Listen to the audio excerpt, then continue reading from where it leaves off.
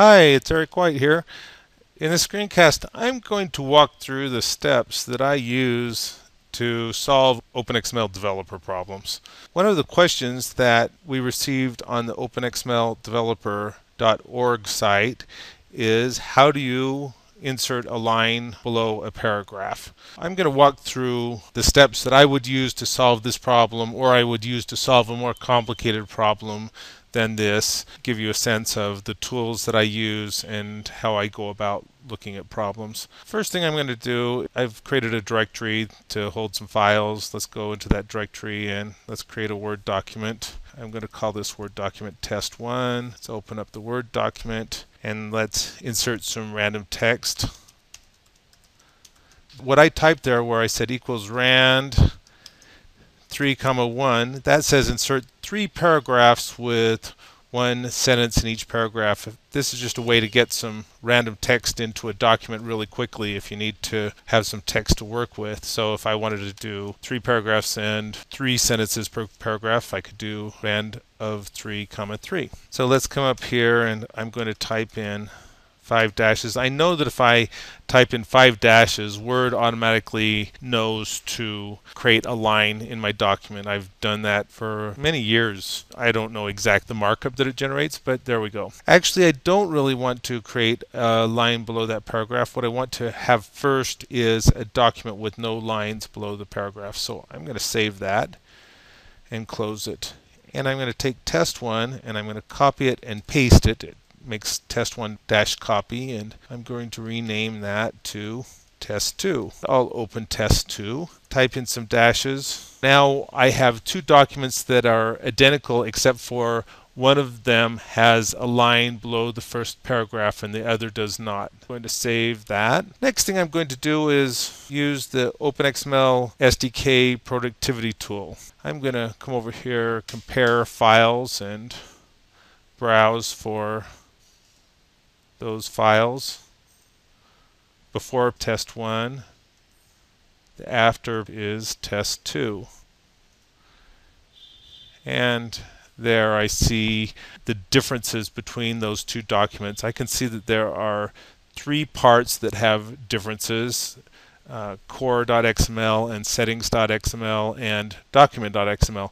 I suspect that the difference is in document.xml, but I'll go look at core.xml and I can see here that there's a difference in the revision count, there's a difference in the time modified. That isn't the change that I really care about. And if I come down here in settings and I view that part difference and I can see that there's a difference in RSID values and of course RSID values, those have to do with merging of documents where you have the same source document and it deviates two different ways, and then you can merge those changes using Word. Uh, but here's document.xml. I'm guessing that's where the difference is. If I open document.xml, first of all, I can see that there are some changes in bookmarks in the document. But what's really interesting here is that in the first paragraph that there are some differences in the paragraph properties.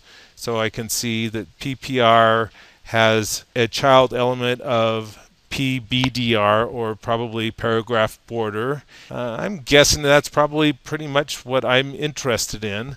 But it would be interesting to go and look at those paragraph properties and look at that bottom element and see what the attributes are on that bottom element. So I'm going to be done for now with the OpenXML SDK productivity tool. I've got Visual Studio running here. Next I'm going to drag and drop test 2 with a line on it to Visual Studio and I'm using the power tool for Visual Studio that allows you to drag and drop an OpenXML document to Visual Studio and then explore around in the package.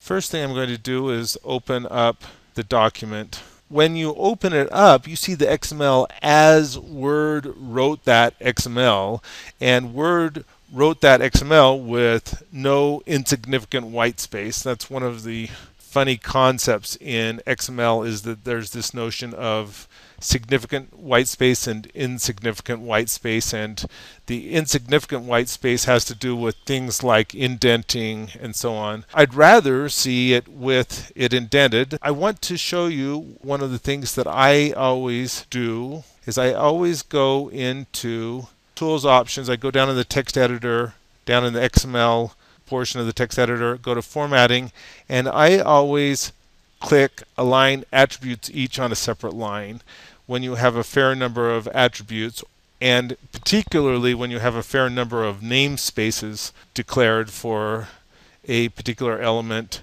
then this allows you to see the XML quite a bit easier. And now that I've set those options, I type Control E, Control D, and that formats all of this XML and it formats it with the attributes each on their own line. Here I can see the first paragraph in that document and I can see the PBDR element and the W bottom element. I can see that there's a uh, value of single and a size of 6 and a space of 1 and color of auto. Let's say I'm interested in exactly what each of those things are. The way to do that is to come over here and open up the ECMA 376 second edition part 1 fundamentals and markup language reference. I prefer the PDF version and I'll show you why. If you open up the PDF version and come over here and open up the table table of contents of the PDF, it allows you to explore the PDF in a pretty easy way. There is one particular section that I spend a vast majority of my time in because I focus a lot in word processing ML. The reason I focus on WordprocessingML is probably, I don't know, 75% of all OpenXML issues are with WordprocessingML. I know in this particular case that it's going to be in paragraphs and rich formatting, but let's say I didn't know that that was where this issue was going to be found. So what I can also do is that PBDR, that looks like an element that I could search for. So come back over here and I'm going to look for PBDR. It's just using the search features of Adobe Reader. And I can see down here that PBDR is section 17.3.1.24 if I look down here, WordprocessingML is section 17 and 3 and 1 and 24. So let's run down here to 24 and there's paragraph borders. I go through and look at this. Really that line below a paragraph, it isn't really a separate element. It's just it's just a characteristic on that paragraph or you can put a border on the bottom which is the case in this particular circumstance. I can see that the parent elements for PBDR are PPR. There are various places in the OpenXML standard where you find the element PPR. This lists all those various places. I can see that the child elements, I can see there's a bar between bottom, left, right, and top. This bottom is the one that we're really interested in. That's 17.3.1.7. So if I come up here and go 17.317, there's the bottom element. This element specifies the border which shall be displayed below a set of paragraphs which have the same paragraph border setting. There's an example that shows that. So the next thing that I can see here in this bottom element that is defined in the OpenXML standard is that if I run down to the bottom of the element, I see the statement, this element's content model is defined by the common border properties definition in 17.3.4.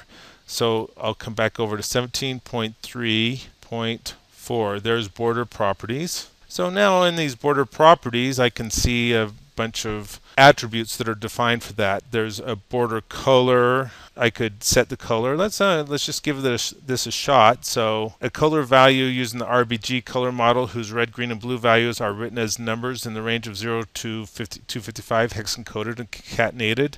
So it looks like it, I could enter in FF0000 and that would change that border to red. Well, let's just give that a shot. Let's come back over here.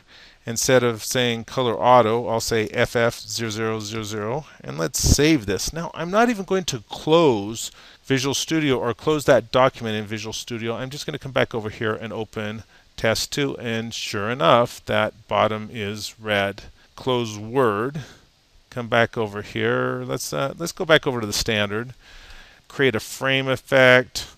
Specifies whether the specified border should be modified to create a frame effect by reversing the border's appearance from the edge nearest the text. I'm not very interested in that.